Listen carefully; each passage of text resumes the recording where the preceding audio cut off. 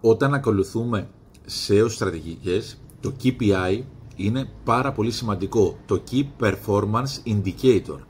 Τι σημαίνει αυτό με απλά λόγια; Γνωρίζουμε πολύ καλά ότι το SEO είναι ένα long term strategy.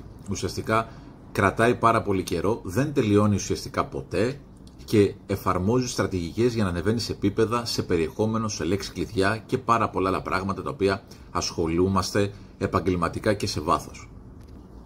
Βλέπεις τις προσδοκίες και τους στόχους με το KPI, τι πετυχαίνεις δηλαδή με τους μήνες, μπορείς να διαφοροποιήσεις και να αλλάξεις στρατηγική σου σε πράγματα τα οποία πετυχαίνεις και να αλλάξεις κατεύθυνση με το KPI, να μετρήσεις τι έχεις πετύχει και τι αποτέλεσμα σου έχουν φέρει όλα αυτά που έχεις κάνει. Όλα αυτά λοιπόν είναι καθοριστικού, ε, παίζουν καθοριστικό ρόλο στο να ανέβεις επίπεδο και να δεις αν οι στρατηγικές SEO δουλεύουν.